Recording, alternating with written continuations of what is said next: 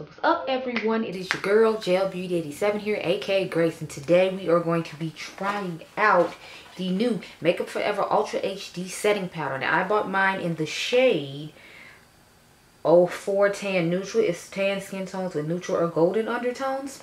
Um, of course I bought it to put underneath my eyes and the highlighted parts of my face. So the difference between this one and the original one is the original one is a loose finishing powder and it's supposed to blur the skin. Whereas this new one I got, of course, since it's a matte setting powder, it's supposed to mattify the skin. So it's supposed to help with the wear and the shine control. Whereas the original one was more about the blurring. So I didn't, I think the original only comes in one color. It's like a translucent color and y'all know translucent ain't for everybody. So, ooh, it, the pouch comes, the puff comes in this little pouch and it's fancy. Okay, Makeup Forever, I see you got the little corner turned on it, okay? We, we might have to use it, you know, because I'm assuming it's maybe the corner to be able to fit up in the corner of the eye. So I might try it on one side like that, and the other side I'll try it the traditional way, which is using my sponge. Lately I've been using a velvet sponge. Oh my god, y'all, this is kind of dark. They make it look more yellow on camera, so I don't know how I feel about the color this palette already. But let's, let's open her up and investigate, shall we? Has a nice little cute seal on it on the inside to make sure, you know, powder doesn't spill out everywhere. And then it has a little top. I know some people don't like it. I'm not necessarily a fan of it myself, but as long as it gives enough space for me to be able to hit the powder out and not have to separately hit it in here and then pour it in there because that's a whole thing that I just don't want to deal with. So as long as it's not doing that, I feel like it's okay. But otherwise, I'm just always like, hmm. And of course, yes, we will be doing a wear test. We always do a wear test here. Wear test is a thing that I live and love. Because I'm like, you see how long it wears throughout the day. Like, me putting it on for 10 minutes is cute. But, you know, when you work that full shift and then you come back, you know, you want it to be more than just, you know, cute. So, sorry, y'all. A lot of powder wasn't coming out at one time. Okay, so it's looking like a it looks more yellow on camera than it does to me in person. So hopefully it works out in my favor. It looks more yellow once we have put underneath my eyes. So I have the full Makeup Forever Velvet Skin line. Of course, I have the foundation I did a review on. I wear the shade Y505 in all Makeup Forever foundations. And then we have the concealer, which I have actually used quite a bit of. If you can't see, there's a nice little line right there. Oh, Focus on the line. But it's a nice little line right here where I have used quite a bit of this concealer. And then I have, of course, the foundation powder that goes with this, the Matte Velvet Skin in the shade. What?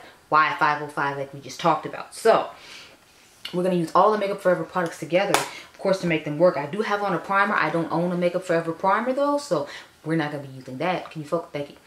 We're not going to be using that. I have a Fenty eyeshadow palette on my eyes because I want to refamiliarize myself with the her eyeshadow formula since of course you know the new foundation the new eyeshadow palette is coming out tomorrow and I will be getting my little grubby hands on it. I'm trying to give y'all a review by Friday if I can go pick it up in store.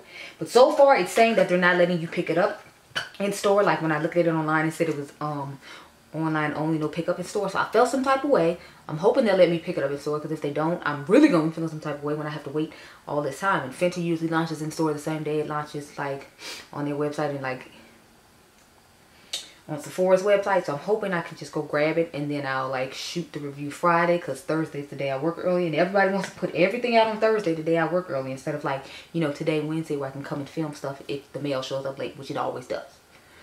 My mail people are atrocious and horrible. Well, not all of them. Like my actual mailman, when he shows up, everything goes well. But it's like when I get these other people who just fill in for him. They just show up any kind of way. They leave mail like on my porch. I'm glad I live in a safe neighborhood where I don't have to worry about people stealing my mail because they just literally leave it on the porch on the side. They don't put it in the door. My mailman will put it in the door so you like hear the door open and realize somebody put something there. Or it's like safely secure where no one will see it. Like the FedEx man just leaves on the porch. The UPS man leaves on the porch. The DHL man leaves on the porch. Like anybody else just leaves it sitting on the porch and it's like, oh, okay. So if somebody steals my package, then what? Because I know I had some packages that said they were supposed to be signed for. I didn't sign for it. They literally just left it on my porch and left and lied and said somebody signed for it. So I'm like, so what happened if I didn't actually get the package and somebody stole it off my porch? Like, how you going to explain it to them if you lied and said that I signed for it and I didn't? Because where's my signature that I signed for it if, you know, you did what you were supposed to do? Hmm? But be that as it may, this is what the foundation looks like. I love this foundation. I feel like it gives a pretty nice your skin with a nice amount of full coverage. Y'all know I'm a full coverage queen. I'm not part of this your skin but better. And if I am, it's to be full coverage your skin but better like the true skin. Um, next, I'm going to use the concealer. I have the shade 5.1 in the Makeup Forever concealer. And I, like I said, I'm shocked about how much of this I have used, y'all. Because I feel like I didn't use that much, but apparently I did. But I haven't reached for this in a while because y'all know I got a million concealers and stuff I had to try out this year and y'all have had quite a few complexion corners. I think this was in one. Don't quote me. It might not have been. This came out a while ago. I don't know. But it's a really nice concealer. It gives a good amount of coverage. I'll try to remember link the video up above because I think I used the powder in that one for the first time as well.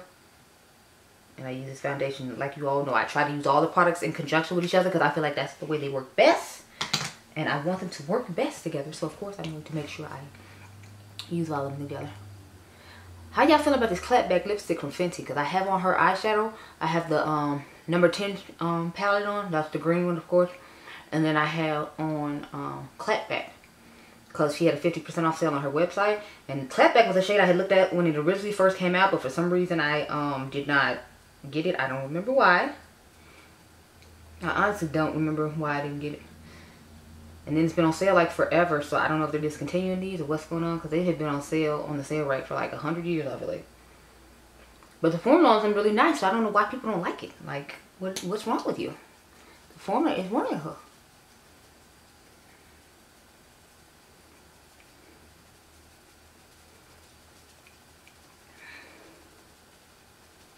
See how nice of a highlight I got with this concealer and how nicely it blends out.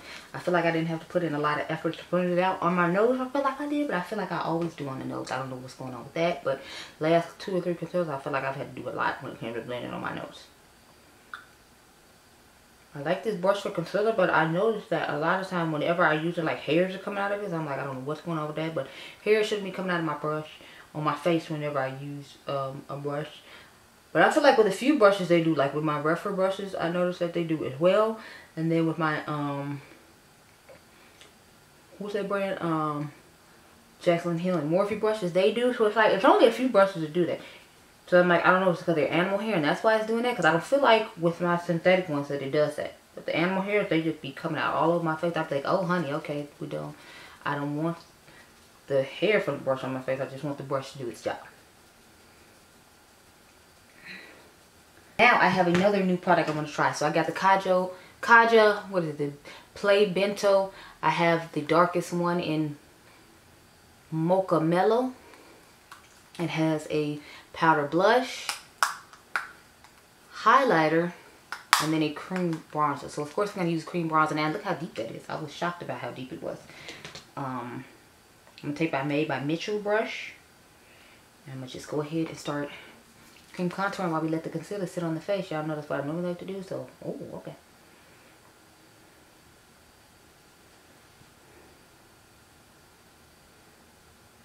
I don't know if this is also set cream to powder. I don't, I left the box on the bed, so I'm not 100% sure. But it's blending on the skin quite nicely, I must say.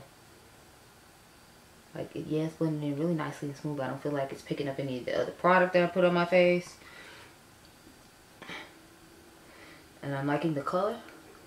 And I usually don't like this brush to use the product, but I feel like it's blending it out very easily. I have another brush I usually use that's bigger, but I was like, because this compact is so small, I didn't want to try to grab the bigger one.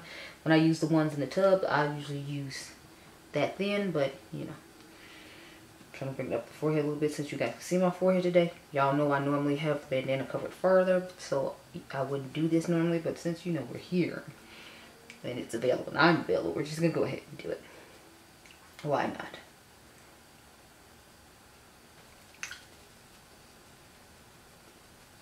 I'll blend this concealer on out and then we're going to the powder. I try to blend the concealer somewhat close to the, um, what do you call it? The, um,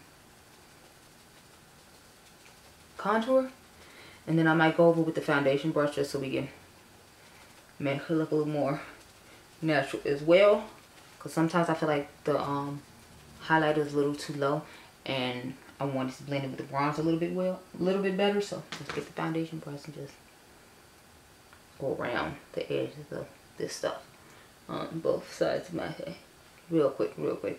Then I'll take the foundation brush a little bit over the forehead as well. Because since I'm not used to contouring my forehead, it looks weird. I mean, bronzing my forehead looks weird to me. So I'm like, let's fix that. Because it, it's feeling weird. Okay, now we're going to get to the start of the show, which is this powder. Um, I told y'all I would do one side with the puff.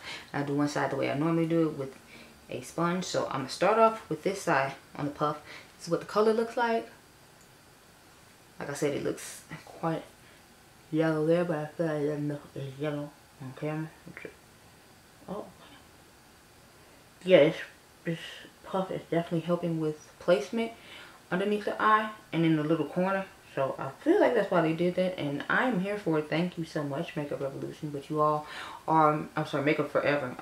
but you all are a makeup brand. So for makeup artists. So I feel like, you know, you knew what to do. And I'm appreciating this puff so much that we're going to use it on the rest of the face. I was going to do it the way I normally do, but I'm like, nah, I'm feeling this little puff, you know. So we just going to go ahead and continue on with the puff. You know, she, she's making us look good and we're just going to allow her to do so. But yes, honey. No, I had some hair on my nose. That's why I was touching it. You don't have to be like, what in the hell is she doing? There, there was a hair on my nose.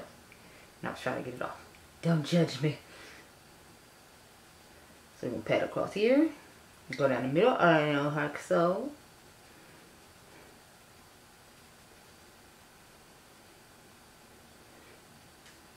And y'all look how smooth and nice my skin looks.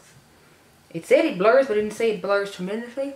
I probably should read what it actually does instead of just comparing what it says the original did to the new one. So I'll do that after I finish powdering my face. So we're pretty much done with powdering where I highlighted on my face. So let's read what this powder actually does. It says a setting powder that extends makeup wear for up to 24 hours with a matte, shine-free finish and diminishing the appearance of pores and imperfections. I definitely saw the diminishment of pores on my cheeks, I must say. The finish is matte. The formulation is powder. It says it's available in six versatile shades. The setting powder gives you lightweight coverage without flashback. This product proves provides a waterproof, sweatproof, and smudge-proof barrier to keep makeup fresh all day and includes an ultra soft, pointed, tipped puff for precise application. Yes, it does, and I am here for all of it. It says the results, the research results show 24-hour wear, 24-hour mattifying, 12 hours of pore minimizing, 12 hours of blur effect, and no flashback. And it's again with the waterproof sweat proof and smudge proof. So we gonna see about it being smudge proof and sweat proof. I don't know about waterproof. You know we might have to you know splash some water on our face with our hand real quick on camera and see how that goes. Um but yeah i am definitely here for it. Let's go ahead and put the setting powder on now in the shade y505 to match our face. And then we will do the rest of the um what have been play bento box um stuff Y'all, I'm really loving the way my face looks right now. Like, honey, what will you tell me? Nothing is what you will tell me. Looking like this, you will tell me nothing. And I feel like the cream bronzer still holds up and looks nice underneath the skin to where I don't need to put a powder on. But me being me, we're going to put a powder on just like Bruno Mars said, that's what I like. So, that's what I like. That's what we're going to do. Okay? Okay. Um, so, let's spray our face with this um, Makeup Forever setting spray. I'm just pulling out all the Makeup Forever stuff. Light Velvet Air is what they said it's called.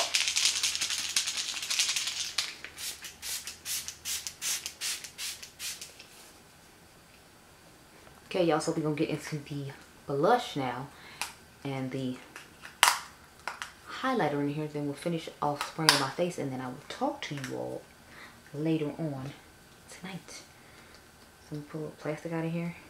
If I can find a little Okay.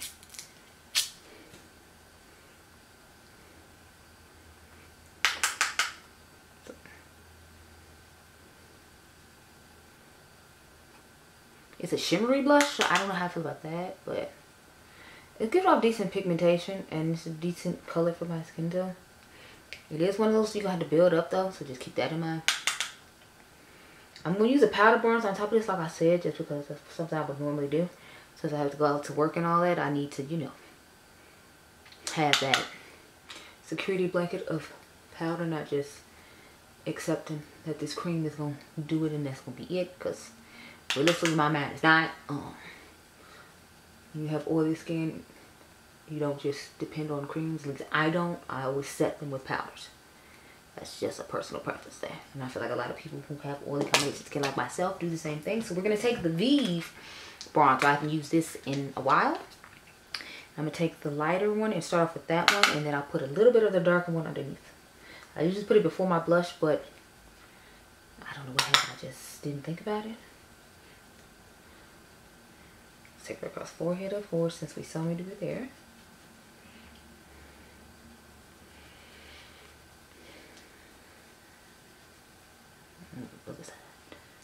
Okay.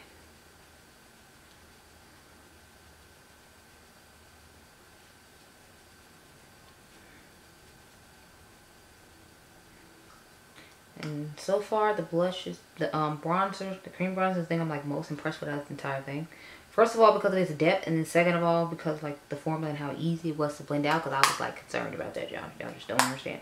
So this is what all three of them look like typical colors that people pick for people my skin tone. I feel like this blush is a little bit more unique than other ones because it's not as very tones as the ones people normally pick. But you got the normal gold highlighter, you got the normal, uh, well, obviously the bronzer shade has to be a certain shade, so that can't be helped. And then you have the um, blush, which I, like I said, I don't feel like it's a typical blush shade for um, people my skin tone for them to put in palettes, they usually pick a more deeper berry toned one. So I'm liking the fact that they didn't just go that, you know, safe route. They went the safe route with the highlighter, but, you know, a lot of girls like a gold highlighter. I'm the weirdo who wants like rose gold or like a deeper bronzier highlighter. I find, because I feel like a lot of people just reach for what I put on there, which is gold. Which is fine, you know, like we all have preferences. It's just, I guess I feel like, because that's just such the norm and I see that so often that I, I want something different. So I'm more like a chocolate geode girl, not like, you know, the shade I'm putting on now.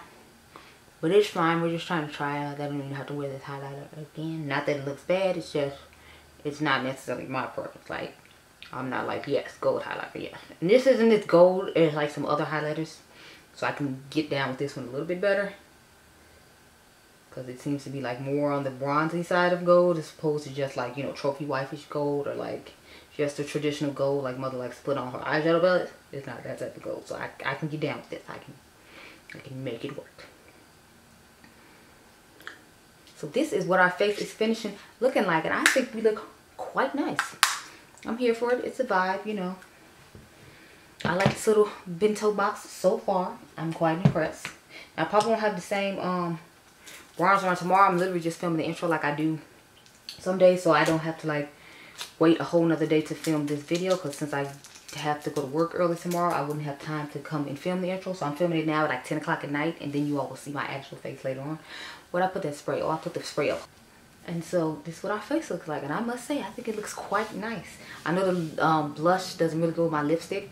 I feel like it goes with my eyes though. Because if you all can't see, I have navy blue in my waterline. So I wanted my lip to match that. I was going to run the green on the lower lash line, but I decided when I get home, I'm going to do some more Instagram pictures, and I won't have to redo underneath my lower lash line to get that done. So we're not going to do that. I'll um, do that um, tomorrow when I do whatever I look I do tomorrow. But anyway, I will check in with you all at the end of the night. Okay, girl? Okay, see you later. Okay, y'all, so I have returned after many hours where? In my socialite Sandy voice? No, um, but it is now 1240. Um, I've had this face on since I want to say 10, 15, 10, 30. Um, let's see what it looks like because as usual, I just sat my behind down and did not look at my face at all. I mean, clearly I can see the monitor, but like I want to get close up on the pores and all that good stuff there. So hold please. Um, wow this stuff did an excellent job all things considered. The only place that's really oily is really really right up in here by the nose but everywhere else you can see like it mattified the crap out of it like it said because it said it would do 12 hours and i'm definitely feeling it. It also did an excellent job of blurring pretty much. I mean after a while it's gonna go away but i feel like it held the oil quite well all things considered. So i am quite impressed with this powder I like the coverage. I love the mattifying of it all. I love the fact that it blurs initially, but I mean, after wearing a mask for 10 hours, I'm just glad it's still any blurring left whatsoever. Um, if you're curious about what's on my eyes, this is the Fenty Beauty, what is the Balm Posse eyeshadow palette that we just did a review on um, literally today. So if you want to see that, I'll try to remember to link it up there. But yeah, I'm, I'm, quite impressed. We're to do Patrick Ta tomorrow because he came to the Sephora that I went to to pick up the Fenty one. So you'll see that tomorrow. I might do three looks, one palette with that. Or I might just do another look with Patrick's palette. And then just put on the mascara toward the end. I don't know. We'll see.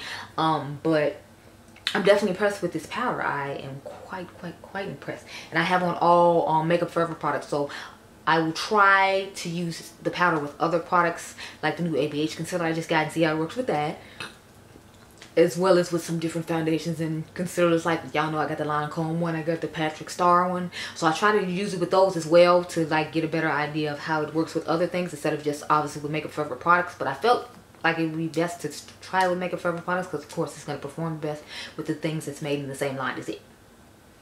But y'all see how flawless my under eye looks and how it's only minimal shine along the face. Now, I didn't try the waterproof claim, but I feel like it did a great job with the sweatproof claim because obviously you might be sweating underneath your mask if you're breathing heavy, you're moving rapidly around like I have to do with the job that I have. So I think it did quite a great job, all things considered.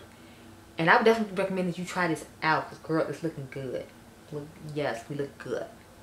But anyway, those are my thoughts on this product. Oh, as far as the blush, bronzer, and highlighter goes, let's look at that.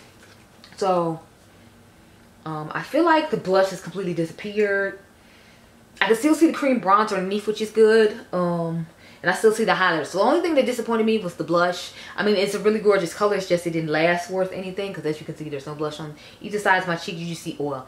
So the blush is probably in the mask. Um, but that's fine. The point is the cream product lasted really well. But I feel like that's because I put a powder on top of it. I put Fenty Mocha Mami on top of it for today's wear test, the wear test the day before, y'all saw I put on the Vive um, bronzer on top of it, but the highlight is still there.